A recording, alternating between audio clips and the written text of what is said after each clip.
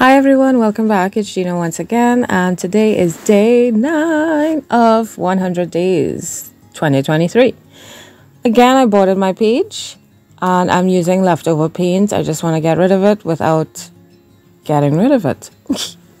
so, honestly, again, I wasn't thinking. I just wanted to sma- you know, smear that paint on a page, and then I thought, hmm, maybe I could just like really use it. So all this time I'm thinking, and I'm, you know, I'm still just smearing paint, right? And then I actually liked those colors and I liked how it looked. So I decided not to do anything else with them. And I pulled out my papers and I saw when I had done the clothespin print. And I liked how that looked. And I thought brown looks good with, with green and it looks good with the black and we have that on the page so let's do that. Then I pulled out some of these uh, masks. These are masks that I made paper masks. And I have the stencil as well. And I layered them with um with with with with what do you call that? Not my mind is saying chalk but it's actually candle Oh, wow. I don't know why. Right. So I melted the candle and I brushed. I took a brush and I brushed it on to protect the paper so that I'm hoping it's going to last longer with the candle covering it. Right? So I thought, let's draw out this mask and get the shape and get the. Look at that. You can't even tell it's a, a clothespin anymore, right? It's so cool. Oh, I I didn't even think that I would do this with these prints. I mean, really. So I'm trying to use the negative of the print. And for the life of me, I just couldn't get it to fit right on a page. But I know that I needed to put something in that corner because it just felt really, really empty. And then it was kind of frustrating me. So I thought, let's add some stuff in the background. So I pulled out my Gelly Roll pen and I'm just make it was supposed to be dots I just started doing circles instead. And then halfway through the dots, the circles, I was thinking, Gina, you should do some dots still. So I did, which is what's happening now. I really like this print though. Like I when I, I remember when I was doing the clothespin print, I was thinking, Gina, how are you gonna use these? When are you gonna use these? Why are you doing the clothes? And I just kept making more and more. It was so exciting. Anyway. so, right. So that looks so like Starry, Starry Night. You know that song? Do you know that song? Anyway. So I'm going to cut this piece because, you know, we want to make it interesting, right? And I'm still trying to fit piece on the left side because even though looking at it now, I'm like, this actually looks really nice. You know, I could have left it with just the two, but my mind just kept saying things look better in threes. Threes, threes.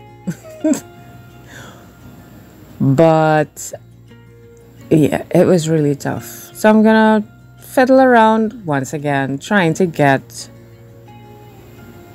that third piece stuck down. With these other two, I said, let me just stick it down, otherwise, I'm gonna spend a whole night trying to find, you know, just to get it in position. So the thing is with these pages, I'm trying not to think too, too much because, you know, that's when things get complicated and you end up spending hours on a page. So I'm trying not to think too much. I'm trying to make semi quick decisions, quick and semi quick decisions.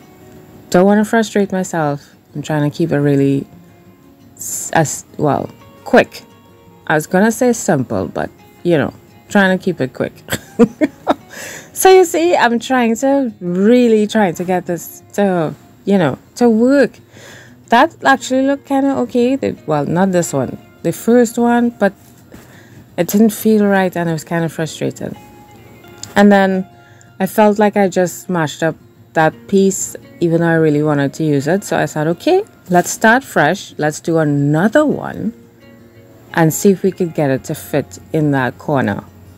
So I'm cutting it out and I'm going to try again and hopefully get it to fit. right? So I'm thinking that could work. I don't know why, for the life of me, I didn't just draw a line. Because what's happening too is I'm trying to write.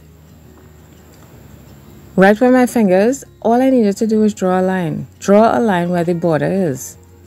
But I just, you know, I felt like being super Gina and I just cut it on a whim. And of course, I cut it badly, so now it's not fitting the way it's supposed to on the edge. And I was just really, look, I can't even pick it up because I have no nails. It's, I cut it really short. But that's okay. So I, okay, so I'm going to use the other piece. And then that piece in the middle is just really unnaturally long. It looks so weird. so I'm trying to, oh, I tell you, this little piece, it really, it took a long time. So then I said, okay, we want to use the smaller one, but it's not working. So we'll use the bigger one, but kind of measure it down. So I'm using the smaller one against it to measure it down. And that's how I ended up using it. And then I said, I am not going to do any more with this. I'm not going to try anymore. It's frustrating. And this is not what this is about. So I just left it as is and I stuck it down. And then I tried to rip it, but it was wet, so it was ripping very well. It was just kind of stretching and doing madness and moving around.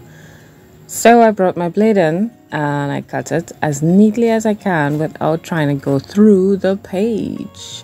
And that is about it. I'm gonna take off my tape, border tape, add some more dots here and there, and that's pretty much it. So let me know what you think. I found this one was very interesting. I really like it. It's kind of refreshing and I don't know, it it it makes me think of outer space and uh, Earth at the same time. So cool. Yeah. So, I will see you for the next video, everyone. Thank you so much for watching and for your encouraging words. And y'all are awesome. And I hope y'all are creating too, even if you're not taking part.